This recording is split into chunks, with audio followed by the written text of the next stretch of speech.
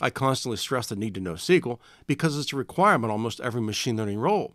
Here, take a look. This one throws people off because the basics of SQL are very easy.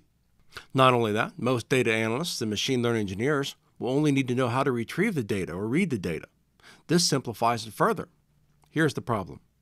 Data is housed in tables, not a table. Often the data you need is going to be housed in many tables. How long is it going to take you to create a join to pull together all the data you need for a model? Here's some code that's similar to something I authored to pull together some data for a problem I was working on. I had to remove all the company info, so this code comes from a training database. The code is called a common table expression, but that's irrelevant for our purposes here. The question to you is, how long as a novice is it going to take you to write this?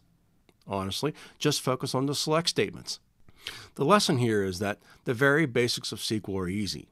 The second you move beyond the very basics, not so much.